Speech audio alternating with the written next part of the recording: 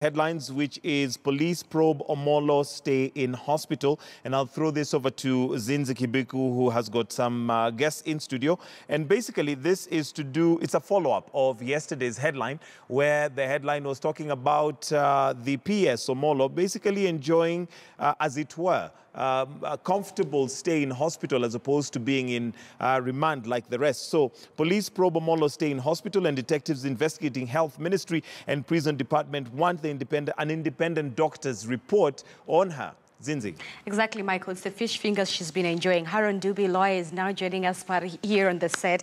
Um, allow me to loop you into the conversation, especially with this one of Omollo. Um, her saying that she's sick. Um, the KNH has now said, well, at first they, she said that she's now there, she's good to go, but now we're seeing a different report coming in.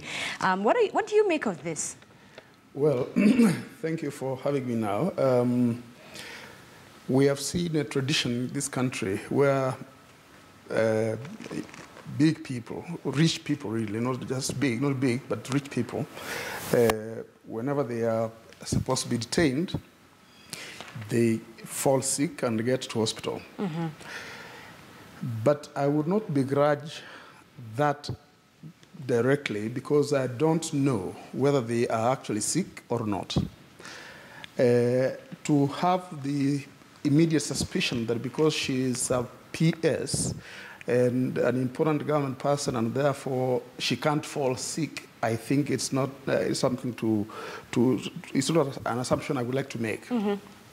I would like to say that perhaps it is the hospital and its doctors who are professionals and who are bound by professional ethics who would say this person is supposed to be, to be admitted in hospital or ought to be released and go to stay at home or wherever else. So that um, for me, the investigation around her uh, and her stay in hospital may not be motivated by good faith or public interest, but by the uh, staccato politics that I see in this country, where the NYS scandal or the perception mm -hmm. of the fight against corruption now, and I think it is just a farce, uh, is being uh, made into some kind of uh, circus. It's a circus. It's a Nigerian movie, Afro cinema thing. Right. It is. It is nothing. There is no fight against corruption. Mm -hmm.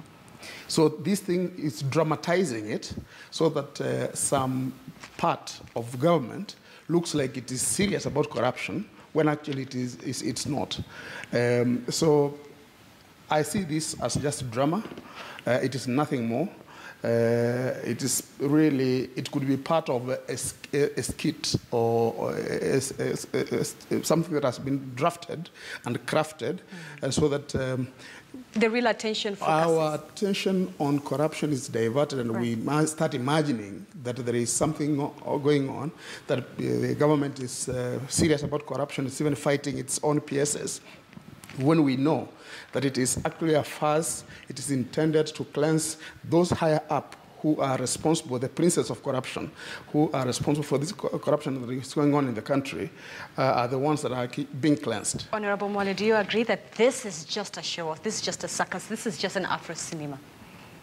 Yeah, I partly agree with him that it's, it's, it's Afro cinema. And yesterday we addressed the media at the Parliament building, me and uh, Honorable Silvanus Osoro, and we were asking the president to go for the big fish. Because when you look at NYS, why should you detain junior people, suppliers who go to the tenders and uh, as a PS, and you're leaving a CS who was in office, mm. who is Sicily Kariuki. The big I fish is actually no, the president himself, if, if you may. I think. NYS, NYS is a scheme whose purpose, as intended by the president and his people, to be a vehicle for siphoning public resources. If you recall, NYS was established in 1965 to assist young and educated people who were uh, soon after independence. Mm. Afterwards, as the country developed, it kind of died down. Then uh, retired Moi uh, revived it and started to take uh, university entrance through it. And then it died down. And suddenly, Uhuru in 2013, when he was elected, is reignited the NYS and gave it a budget, if I recall well, of about 20 billion when some ministries were receiving 7 billion uh, annually. And a department of, uh, of a ministry was receiving 20 billion, doing the very things that were being done by other departments of government all the functions of the National Youth Service today, other than the facade of the. Youth. No, no, no, not helping the youth. They just do military drills. Anything else they do, whether it's agriculture, whether it is uh, uh, pretended security, whether it is uh, Rescue operations? rescue missions, all those have line ministries that are being uh, that that conduct those. So that effectively, what I'm saying is that it is duplicity. So that the money that is allocated to NYS is supposed to be stolen. That is the purpose of Youth today. All right, so we are going to take